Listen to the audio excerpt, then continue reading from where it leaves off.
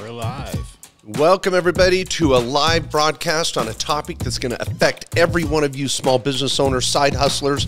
I am so, that didn't sound great. Side hustlers? I, I may need to change. Side giggers, something like that. My name is Mark Kohler. I'm a CPA attorney, uh, author, and, and here every week with you. Excited to be on the entrepreneur platform as well as my own. And I have a special co-host with me today. This we're doing this together. We're going to throw down. I got Karlton Dennis here, tax strategist, enrolled agent, uh, owner of KDA and the Tax Alchemy, training entrepreneurs, real estate investors, and other tax preparers around the country. He and I are just cut from the same fold, and I just love what he does. He's a huge YouTube person, and you know what pisses me off? He's got more followers on YouTube than me, and I'm gonna, I'm on his tail. I'm gonna, I'm gonna get you. What do you call it? YouTube subscribers. I don't know what I'm at. See, that's my problem. I don't even use the right words. Thanks for being here, Karlton. oh, pleasure. It's a pleasure to be here. Thank you so much for having me on. Listen, I have been following your YouTube channel for the last three, four years, and I've absorbed so much information. So thank you so much for inspiring someone like me to be able to grow my YouTube channel. I'm excited to be able to tag team this with you today. And for your listeners out there, I know you guys have been waiting for this. So we're excited to be able to partner together and talk about something that's really important to you guys, such as LLC. Uh, I, yes, very powerful. The title today topic is how to pay yourself from an LLC. And with one out of three working Americans now with a side gig or a side hustle, uh, there's LLCs everywhere. And a lot of people yep. think, oh, I got an LLC, I'm done. You know, Nicki Minaj, hey, you're nobody till you have an LLC. You're like, no, we, you know, ain't nobody. I can't sing it. I should work on that. But anyway, the point is, um, a lot of you are going to be affected by this. Uh, we both have videos on this previously, but we wanted to combine our superpowers. We'll take questions later, but we're going to dive into it now. This will be on the podcast as well as YouTube. So welcome everybody from wherever you're at. Um, okay, Karlton, I'll just, I, I know um, there's a, a, a, a, good way to tackle this. Um, obviously, we're going to ultimately get to the promised land where the S Corp starts to play into this. But where right. do you like to start with your business owners when they have an LLC? You know, I like to start off with the mindset of an LLC owner.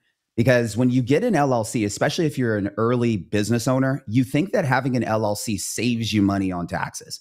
So we first need to get the mindset correct that establishing an LLC does not simply save you money on taxes.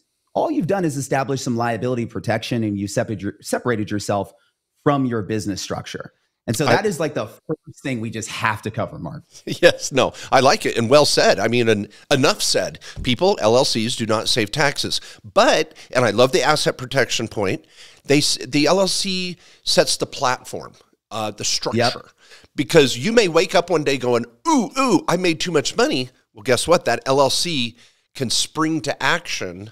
But until then, it's yeah. really not saving you taxes till you get to a certain point. We'll cover that. But yeah, it's, uh, but the structure is important. It's good to have it there. Um, yep. And that leads me into the second part of the mindset. What you choose to do with your LLC will determine how much you actually save on taxes. And I know me and you are going to get into that later on. But I just want you to know that if you're an LLC owner out there, you can take actionable steps to save money on taxes. And we're going to make sure that we cover that in today's video. Yep, yep. And here's another I love this mindset approach. And by the way, we did not, folks, this is live, uncut, un edited. We didn't even, we were like, do we have an outline today? Oh, let's freaking go. You know, we had like three points, you know. So I love this. We're going to see where this goes. But the other thing about an LLC mindset wise is I really like it for business owners because it gets them in the mindset of business ownership. You've got to get a different yep. bank account. You've got to be thinking maybe corporate credit. What's my URL? Do I have a, do I need a DBA? What's the name of my LLC? How am I going to brand myself? Do I need a logo?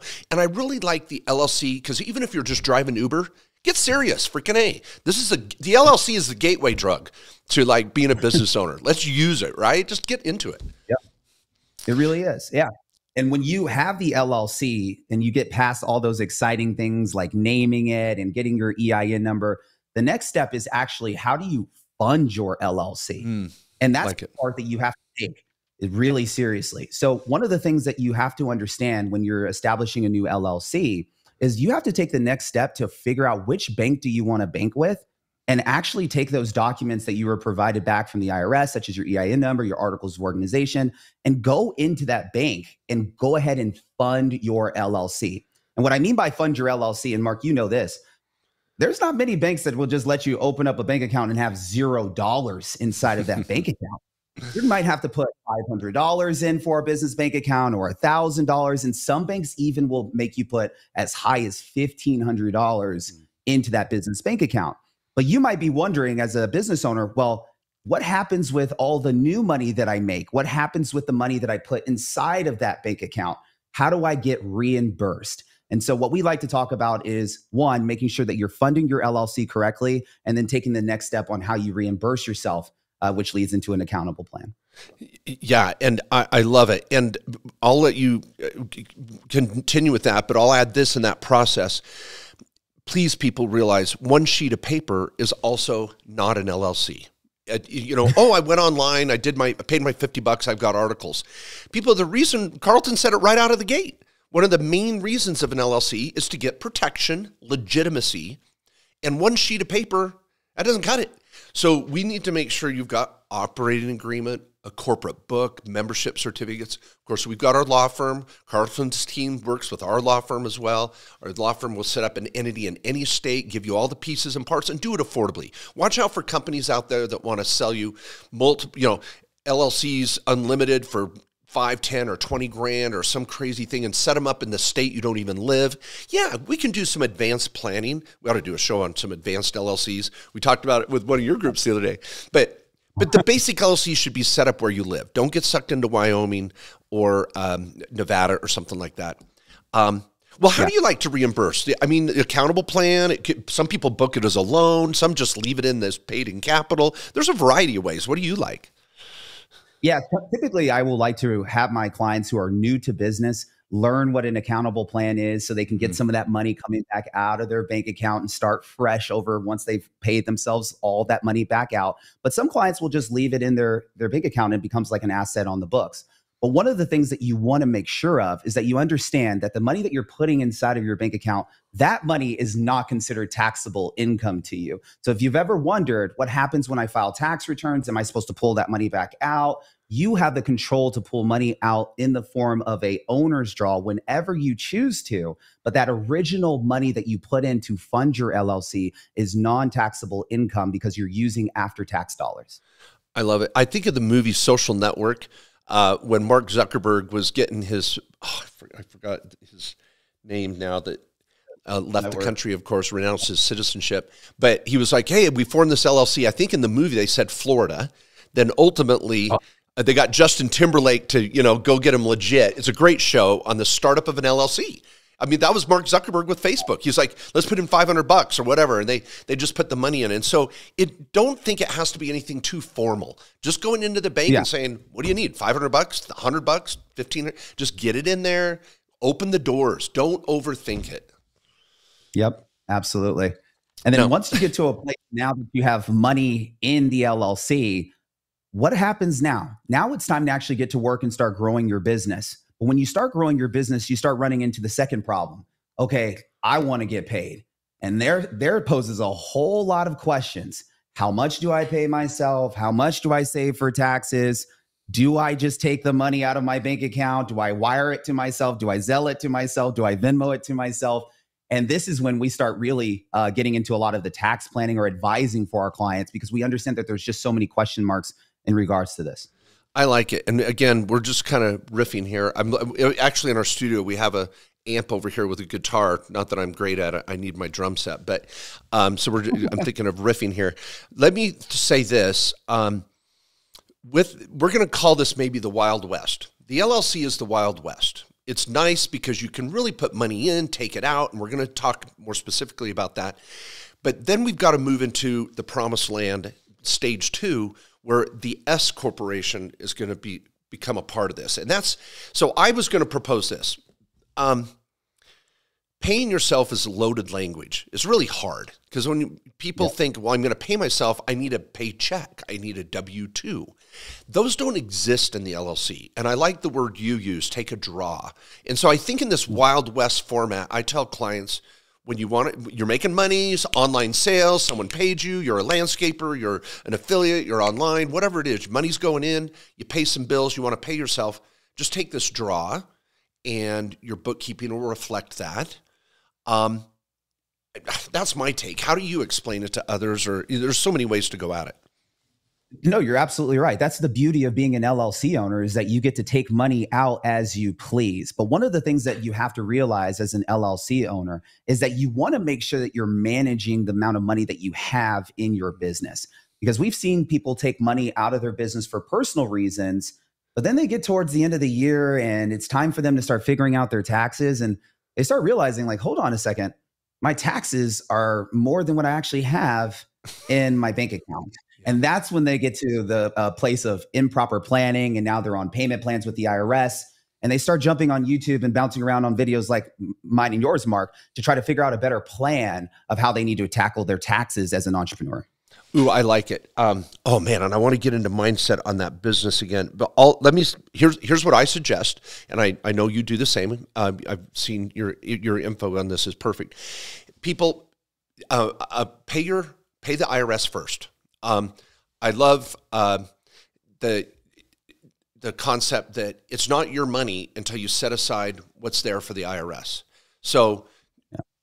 take 10% of your sales, take 30% of the bottom line, take 20% of a number. Find that number and work with your accountant, work with your coach, whoever you're working with. I know you and I teach clients this all the time, but I'll tell, like, say it's a realtor. When they have money come in, just take 10%, put it over here in a tax account. Before you take yeah. any money out for yourself, set that aside. And I think that's a, a, way of paying yourself. You're setting it aside for the IRS. Then you can say, now whatever's left in the gas tank, I might want to take some out. Um, what do you think?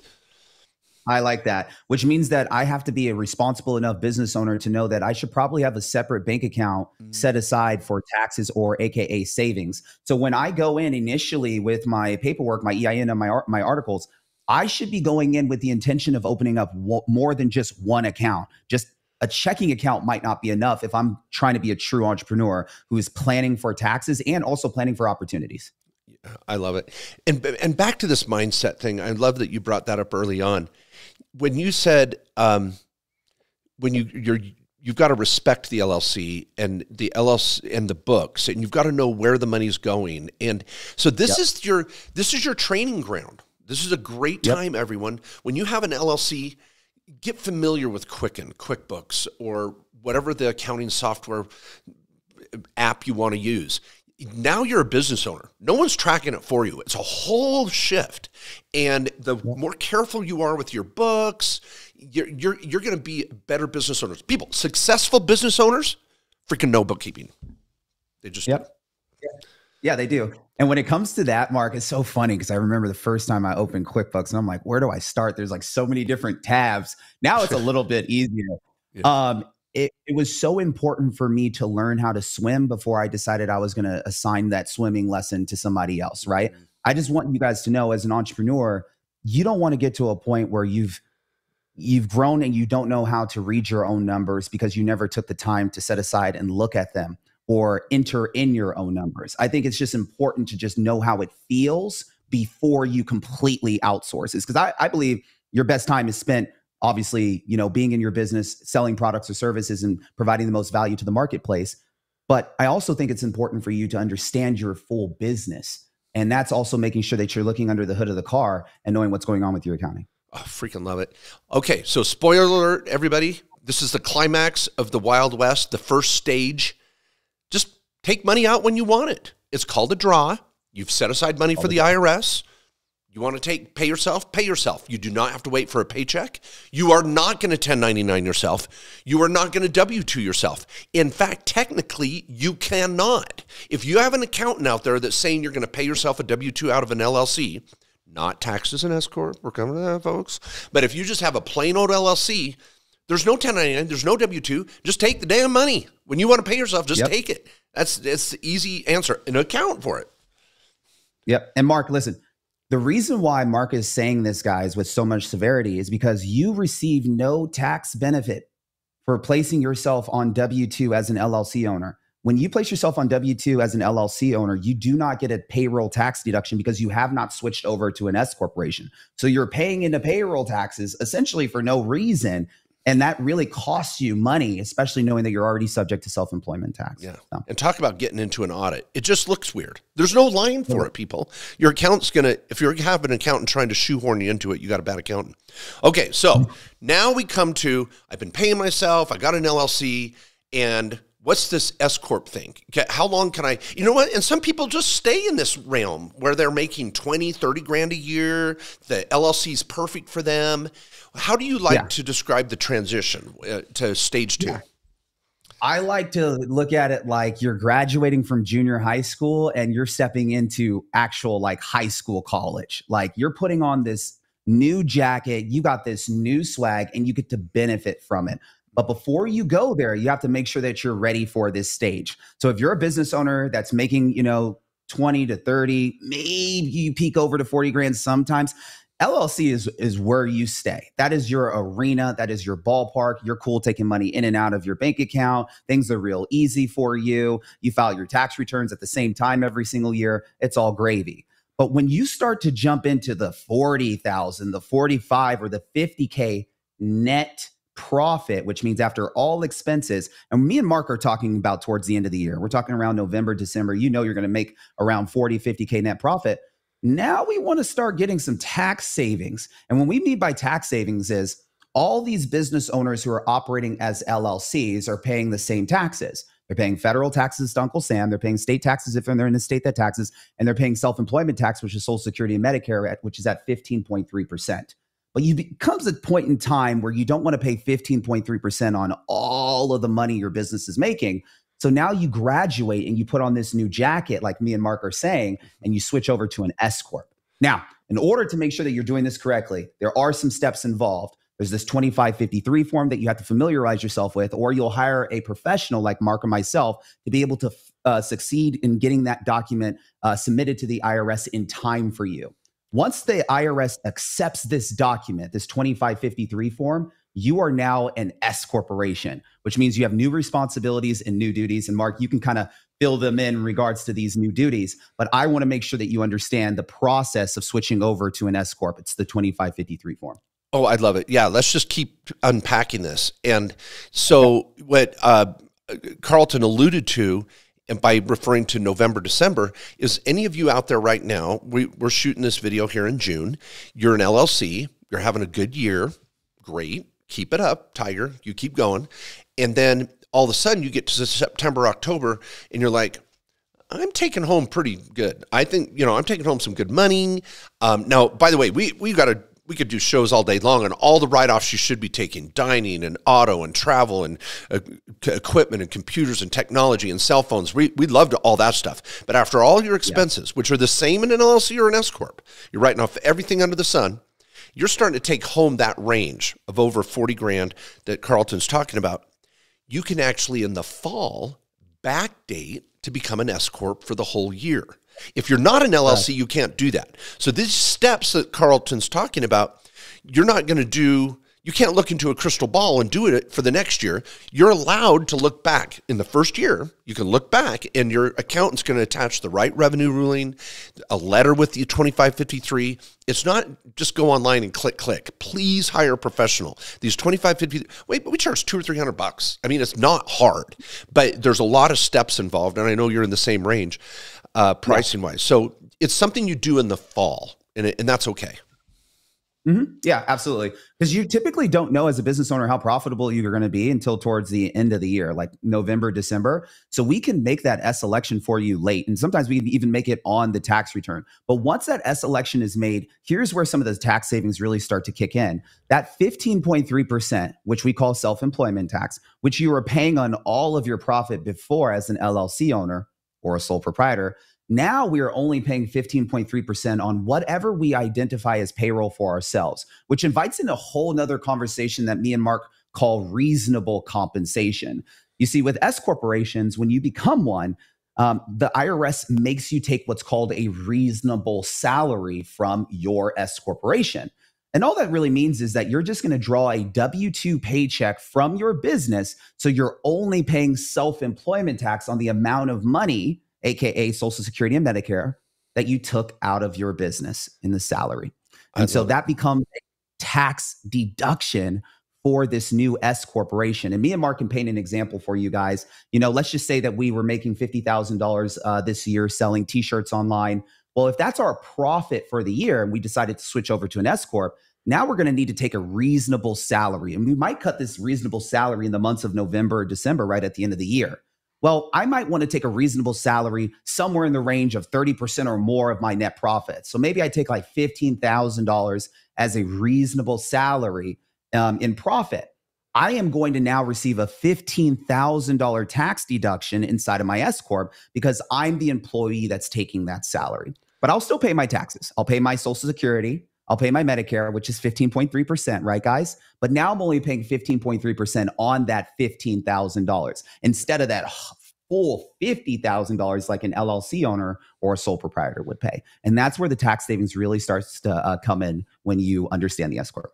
And the interesting thing here, everyone, is you're not saving income tax. You're not saving state tax.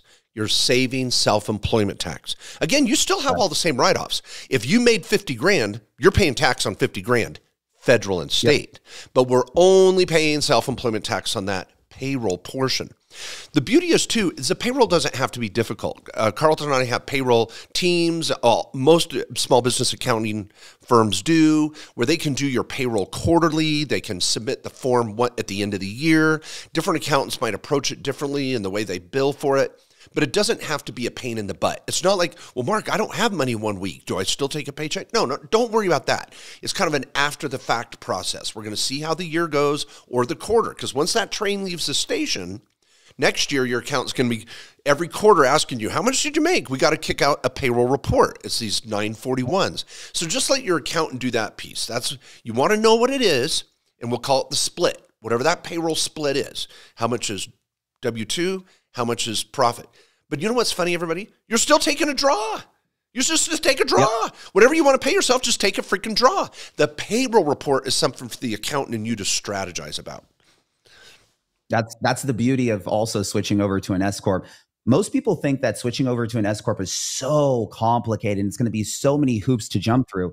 You still get to take owner's draws. You still get to transfer that money out of your bank account into your personal account as you wish. You just have a few additional steps. Maybe you're tracking your your meeting minutes on a yearly basis because you have to have meetings with yourself or with your employees. Or maybe you have to file your tax returns a month earlier and make sure that you're taking a payroll every single year. But when you really add up those three things, it really doesn't become such a cumbersome when you think about the amount of money you're saving tax wise, especially knowing that you're truly trying to grow the profits of your business year over year. Well, I, I love it. And I'm going to uh, throw down here with you too, Karlton. I do not see, I want my clients, even in an LLC, to have a board of directors, a board of advisors. So Agreed. you people don't see doing minutes. We have a company maintenance program at our law firm. Well, for 150 bucks a year, we'll do the minutes, your accountable plan. It's all in your little corporate book. And right. You want to do that even in an LLC, people, because now I can write off my trip to New York, my trip to LA, my whatever. I'm going to meet with my mom, dad, or best friend. So, no, I love that. And um, one other mindset thing this yeah. is tricky, everybody. Once you make that election to be an S Corp, please tell your accountant, your insurance agent, your bookkeepers, your professionals you work with that you're an S Corp. You're still going to keep the LLC acronym, you know, ABC Company, comma LLC. That's fine. You're still in the state an LLC, but for the IRS, you're an S corp. And if you walk around right. telling your accountant, "Oh, I'm an LLC," we're going to go, "Why aren't you an S corp?" "Oh, well, I'm an S corp." Well, then lead with that for crying out loud. Lead, know that you're now an S corp. Own it. yeah, Mark. What do you say to customers that you know ask you, "Well, should I just go straight to an S corporation, or should I set up an LLC and then wait to switch over to an S corporation?"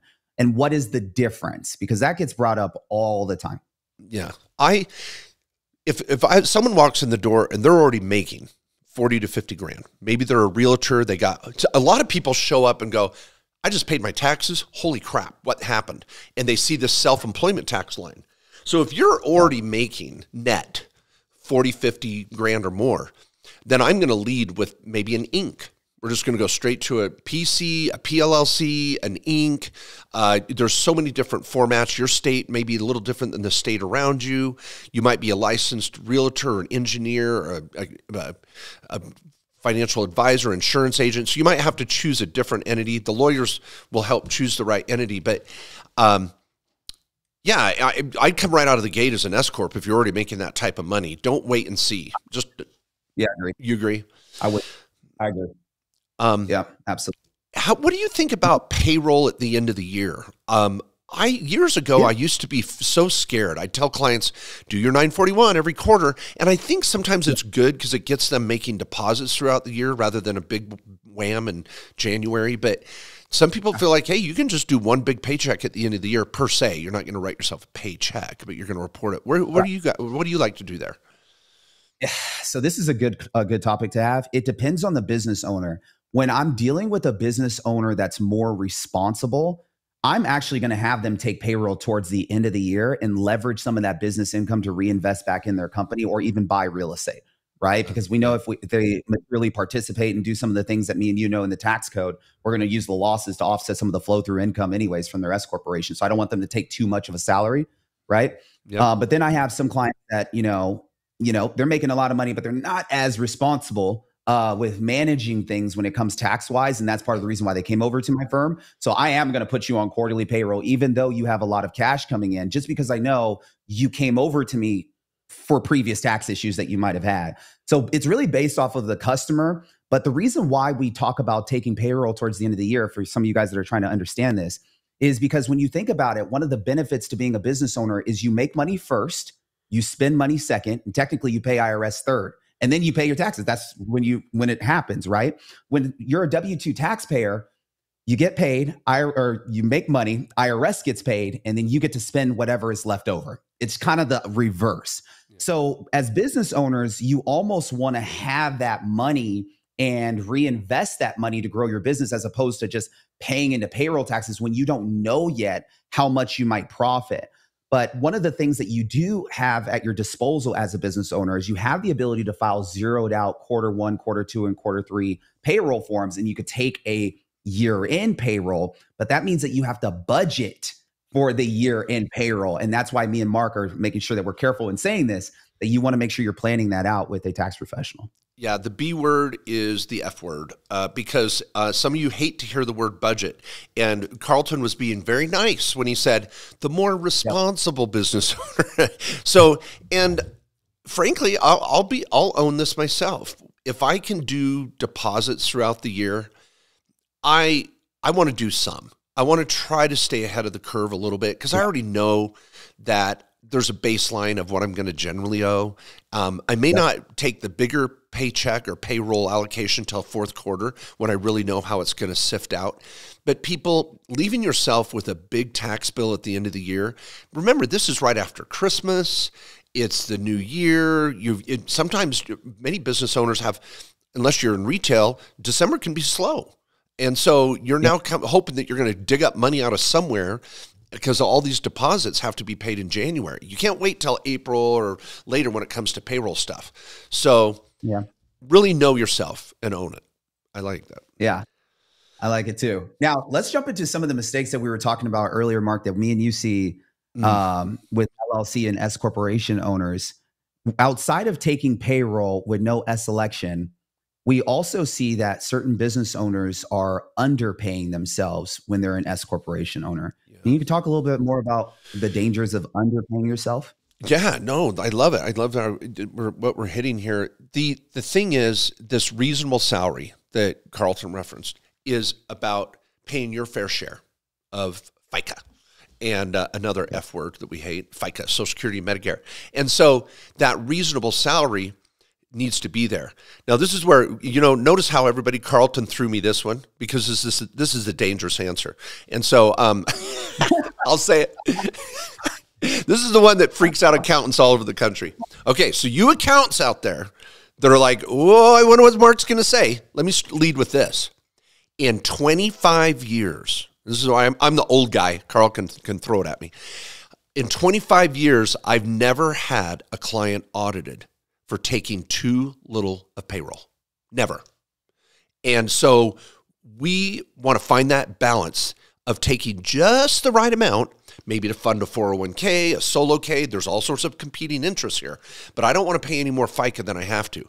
And so right. we've created a matrix that um, is a starting point. We might do payroll of 30%, 40, 50% payroll. So in that example of someone making 50 grand selling t-shirts, Karlton said maybe 15 grand in payroll. Well, you might be in that 15 to 20 range. You're going to find that range that works. But there's accountants out there or clients that take zero or 5 mm-hmm. grand. Well, the IRS is going to be pissed. And so you got to get up to a point that the IRS just says, yeah, they're not worth chasing. And um, we a lot of accountants think I'm aggressive. And I'm like, bring it. I'll freaking sign your tax return at 30, 40, or 50, 30 or 40% allocation, especially if you're making 50 yeah. to 100 grand. So that's where I fall. Yeah. What, what's your take on it? Where do you like to be? I love, I love that. I like to stay right around 30% unless there's a reason why I need to go higher. If I'm qualifying my client to get a, a mortgage loan, I want to make sure I'm also speaking with the mortgage lender ahead of time to know exactly how much the mortgage lender mm-hmm. wants to see on the tax return if we possibly can get that information. Um, if I know a client's making a huge retirement contribution, so they need to take a salary and then, uh, you know, allocate some of those funds over to a retirement account, but still show enough income for what they might be trying to do. But outside of that, no, I want to make sure that I'm not paying into any more FICA, that F word. Ugh, just rubs me wrong. more FICA than I absolutely have to pay. And I want my customers to understand that completely as well. But I like that 30% as a ballpark because it typically works with a majority of taxpayers I work with. Yeah, I love it. Well, I'm going to mention one more mistake, and then maybe you mention one, and then we'll do some questions. So, folks, please ignore any bots that are posting about cryptocurrency or anything out there. If you have a question that maybe you posed 20 minutes ago, please retype that question so it gets caught up in the feed here.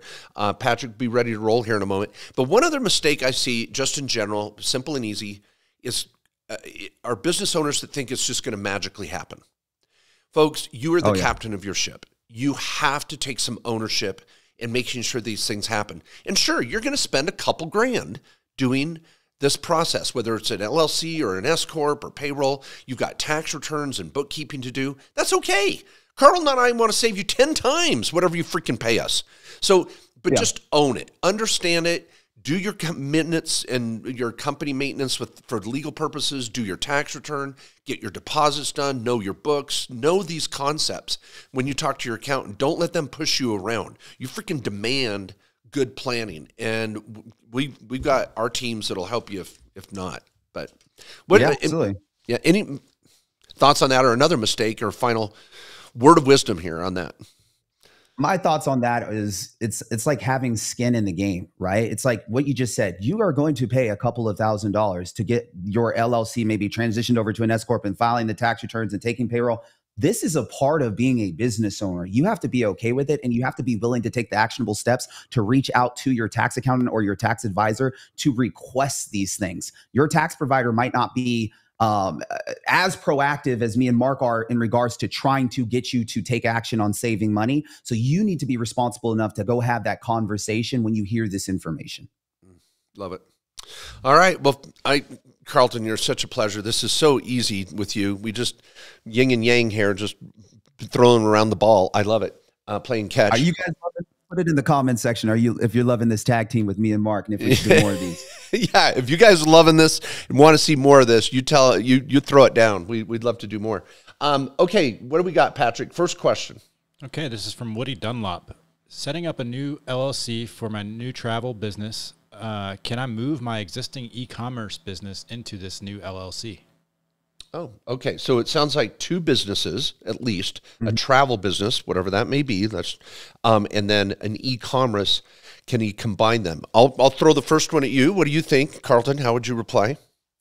you could run your businesses under the same LLC if you'd like to. When it comes to these two businesses, I would almost want to keep them separate personally, depending on the profits of the business, because one business is a service based business and one business is a product based business. So those are just two different types of liability. I might want to just separate those two businesses out and just have them running in two separate bank accounts and I can track them uh, separately inside of QuickBooks. Um, but I also want to be able to ask you how much revenue you might be making because I don't want to have you paying so much in accounting fees to operate two LLCs. But if I'm living in a perfect world, yes, I'm going to keep those two businesses separate. I like it. That and for um and and there's a point of graduating here too because at the baseline you're going to have two LLCs or two bank accounts and two Schedule C, as in Charlie, folks, two sole proprietorships, and that's okay.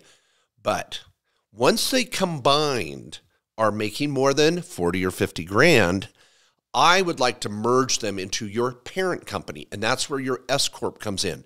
So yep. the S corp can have multiple streams of income. I have one S corp in my life. It may own three yep. or four LLCs, URLs, trademarks, DBAs, whatever. So level one, keep them separate. Level two, merge them and take one of those LLCs and make it an S corp. Create a subsidiary with the other one. You, there's all sorts of ways to organize it. Make sure you get with one of the lawyers and to organize it, and then we'll have our the accountant, whoever they are, get on the line. Make sure we're all on the same page. But they're a little reorganization yep. as you grow. I love, love that. It. Yeah, I'm the exact same way. I have one S corporation. All my LLCs, subsidiaries fall and roll up into the S corp, and it just works out really well that way, especially for saving money on self employment tax. I love it. Okay, next question. All right, this is from Sarah Finia. March 8th of this year, I opened an LLC using a sole proprietorship and would like to switch to an S Corp. How much time do I have to make the switch?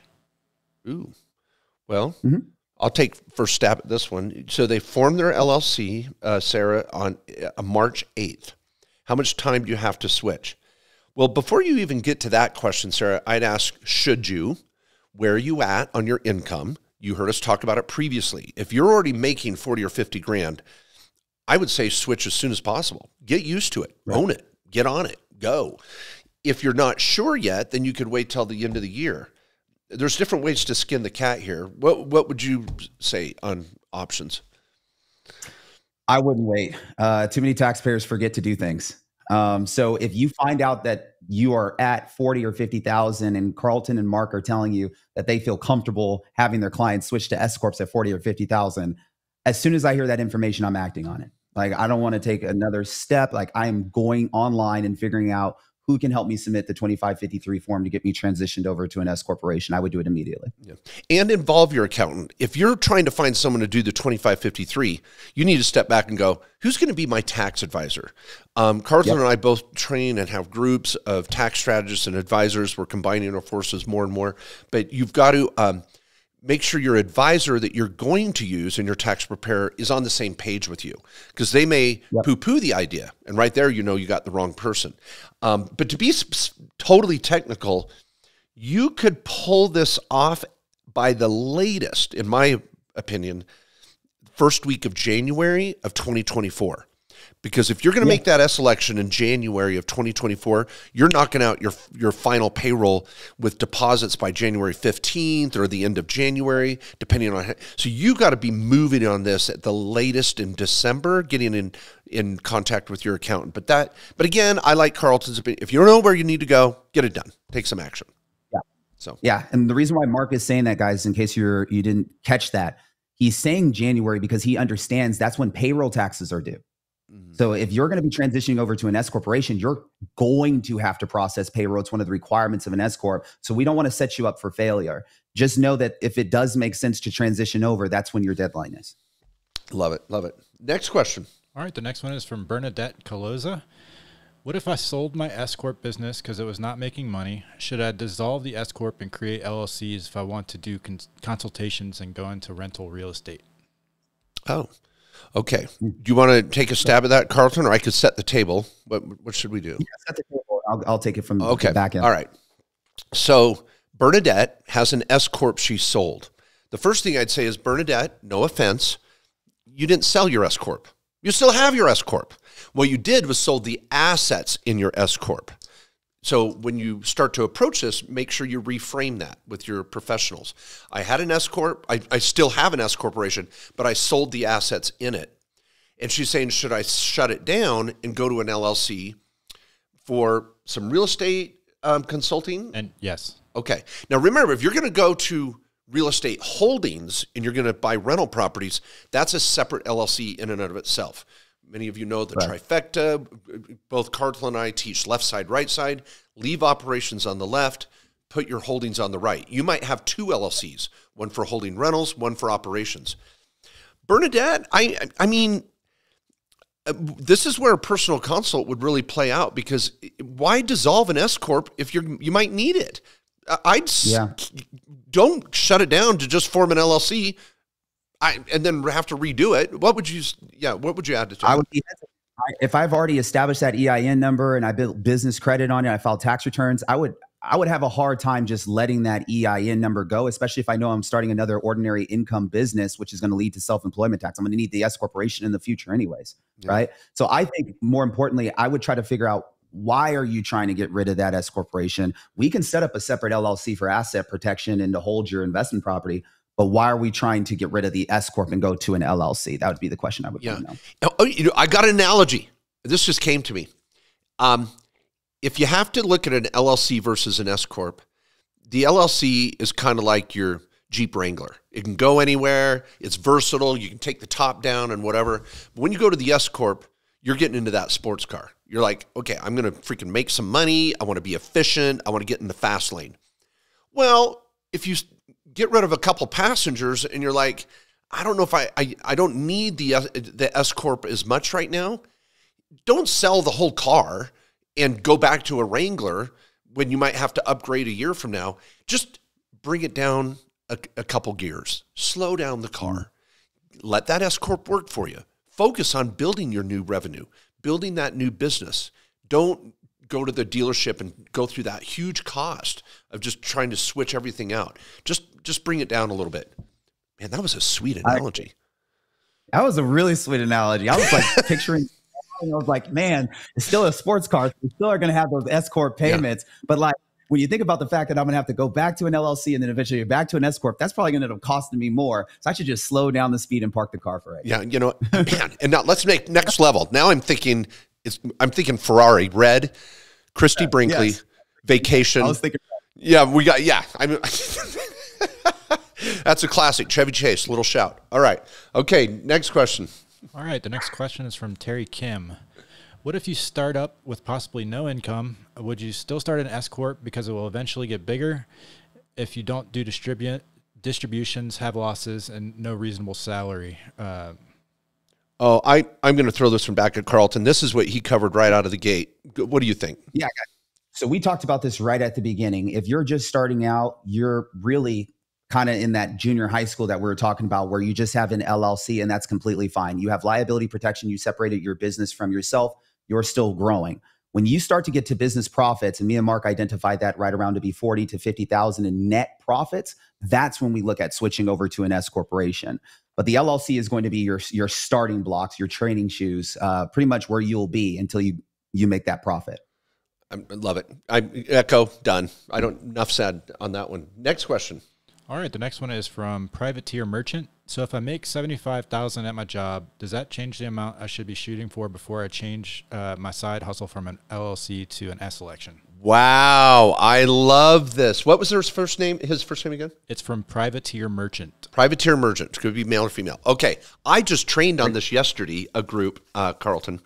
So here's the issue, everybody. Okay, now for those that are getting technical, I'm going to throw down a little tech here. It's a good one. This is a good one. So the question is, people, day job, W two. What did you say? How much? Yep. Seventy five grand. So he's yes. got a day job W two of seventy five grand and a side hustle. Very common. Estimates are forty million Americans are in that that that box. Yeah. Well, what privateer's getting at is there's a limit on how much the 15.3% applies. There's this payroll limit. It's mm-hmm. $160,200 this year. So you only pay 15.3% on $160,200.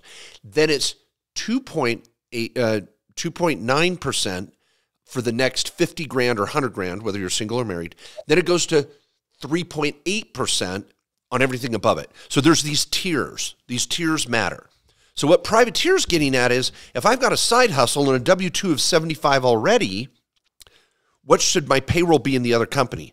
Well, there, there are so many factors because if you've got a full time job over here, I might l- use a lower payroll allocation here because you can argue to the IRS, I'm more hands off anyway, right, Karlton? and then you've got to figure out how much payroll do I take eh, or not. And this is where if I have a doctor with 250 grand W 2 and a private practice, we're going to have a different threshold there too. So oh, it's very, very complicated. Um, I, wh- what, where would you go with this too? I mean, trying to unpack it we would obviously need to get more information, but to paint a picture of why this is very complicated, just imagine that you're a W two uh, salary earner and making seventy five thousand, and your S corporation is making like two hundred thousand, or your mm. LLC is two hundred thousand. You might now want to switch your LLC over to an S corporation and take a salary so you get that deduction for paying yourself. But you're finding out, hold on a second, I don't want to overpay into Social Security and Medicare if they have a threshold on when it stops having to factor in so much. So we have to start looking at how much should we draw out of your LLC in the form of salary and tax it over as an S corporation. And this is a number that we won't know unless we know your numbers in front of us and we're calculating with the taxes. Yeah. And while we're going deep here, I'll mention this as well. People, you want spoiler alert or inside info? The payroll allocation is not based on your net income it's based on your draws.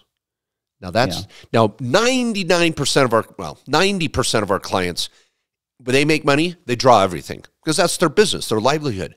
But if you're reinvesting your profits and you're not even taking draws, you're not required to take a payroll.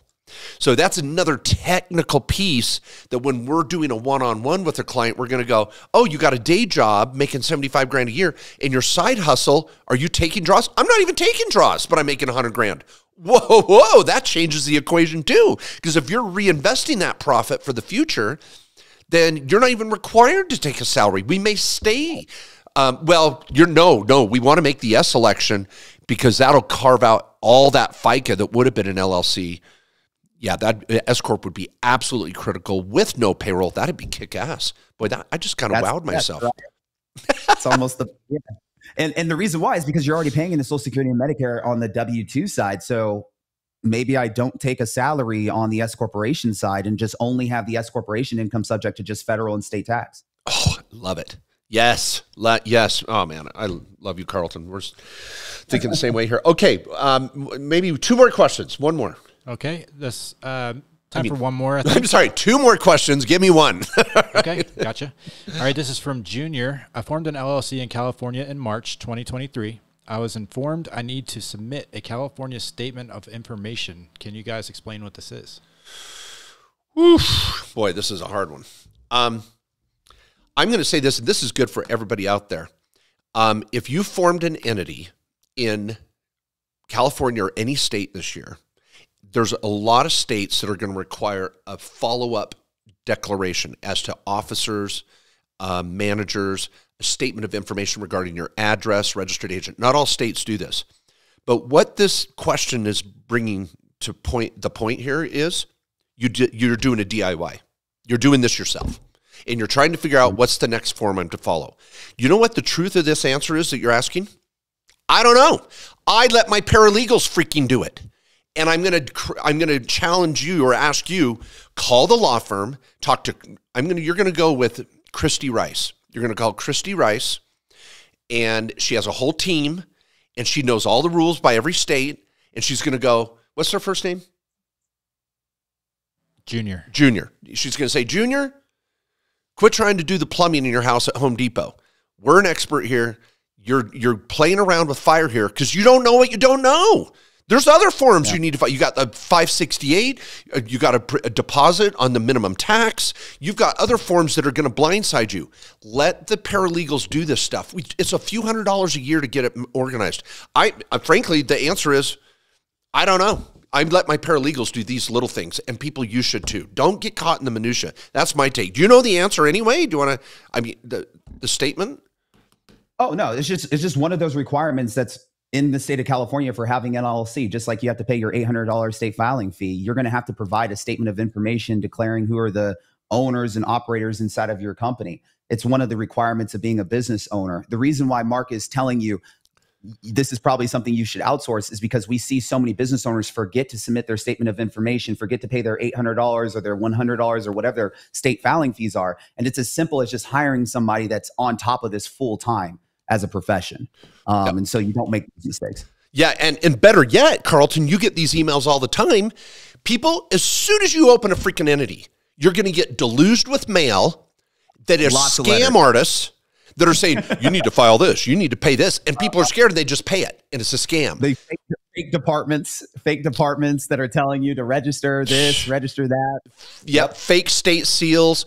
And so, if you're on our company maintenance program with our paralegals, you just fax it in, or anybody fax, take a picture, email it in, whatever, and then the team will tell you, oh, don't pay that.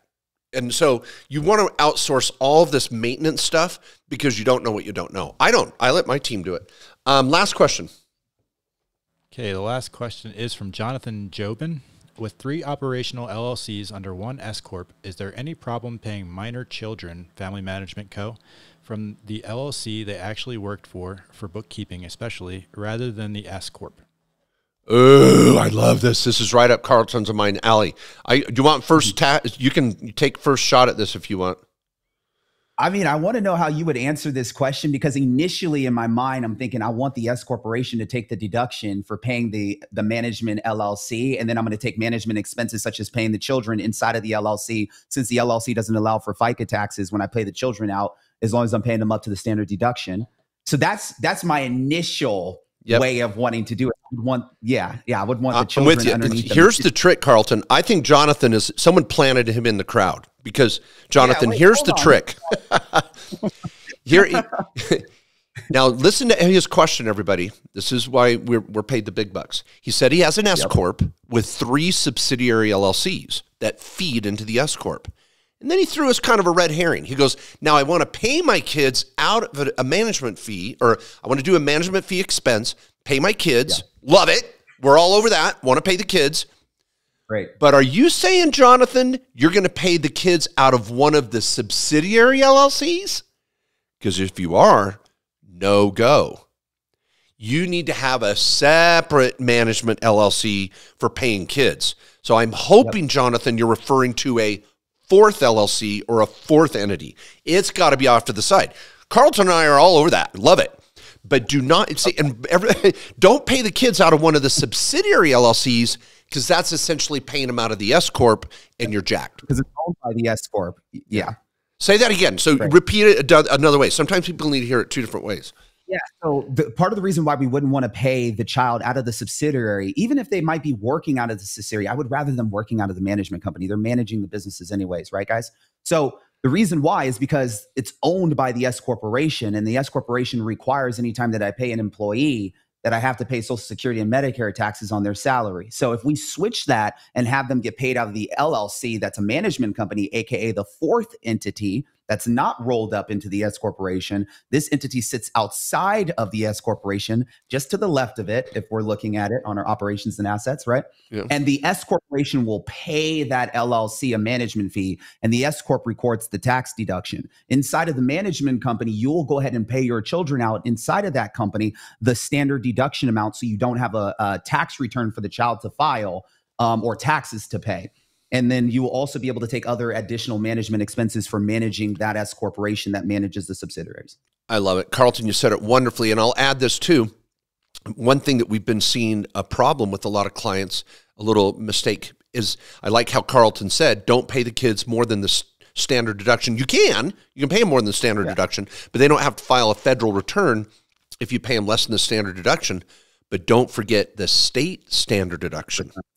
And I know you know that. I'm and I just for everybody out there, if this client has lives in California, the state standard deduction is around sixty four hundred bucks, but the feds is going to be over thirteen grand. So you pay your kid ten grand. There's no federal return, but you got to do a state return for around thirty six hundred bucks. So don't forget that that difference, people. And twenty five of the states don't even follow the federal standard deduction approximately. So you're you're many of you could be in a state where you've got to file a state return for your child working in the business, but not a federal. Yeah. Well, Carlton, you have been just amazing. This has been so much fun. This has been fun. We got to do this more often. What do Yeah. you guys think? Let us know in the comments. Should we do this more often? Everybody loves mean, you we can- guys. go, we can go far more advanced too. We can go past LLCs, guys, but you got to let us know in Yeah. the comments Yeah. if you'd like to see us. Yeah, you want to launder money, you know, uh, whatever. I'm no, I'm just joking. Okay, now down below, people, we're going to make sure there's a link to Karlton's YouTube channel, my YouTube channel. Uh, our contact information will all be down there. Please uh, give us a like, a five star, whatever. Subscribe um, to both our channels. You're going to see Karlton and I present videos um, on sometimes the same topics and sometimes a different look or a take on the same topic. But it, it's a wonderful way to really unpack a, a, a conversation and to get different perspectives. And so um, I just wish you the best, Karlton, and everyone out there. Keep living the dream. Karlton, you get the final words. Give everybody a charge, ramp them up for this Oh, yeah. weekend. I love it. Hey, listen, this has been absolutely amazing, Mark. I'm grateful to have you on. Um, grateful to be on your platform. For those of you guys that are watching, we plan on doing more videos like this, whether it's on my YouTube channel, whether it's on Mark's YouTube channel. If you're somebody that is out there trying to leverage the tax code, then you're going to need to get the right information and you're going to need to get the right professionals. Me and Mark are more than willing to help you. Feel free to reach out to our different firms to be able to get what you need. And we look forward to helping you as you guys build wealth. We'll see you guys on the next video.